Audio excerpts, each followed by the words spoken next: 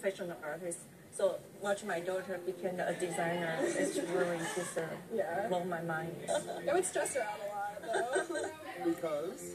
Sometimes she was nervous that she never knew what I was gonna do. Well, I was nervous about that too. You would always say to me, trust me. Well, that's all that I can do.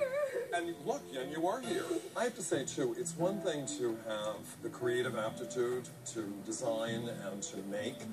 It's a whole other thing to be able to withstand the pressures that Project Runway presents to young designers. What do you think it is about Izzy that's allowed her to succeed in this very intense incubator? Isabel has a, a ski uh, accident back when she was 13 years old. She almost died. What happens? oh, okay, so it's really fun, actually. Um, It's fun.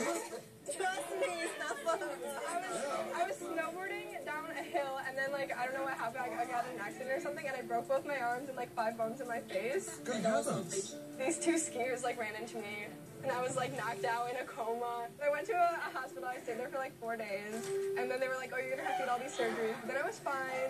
So after that, I kind of just take everything in my life sort of, like, as a present. Like, I wasn't supposed to make it this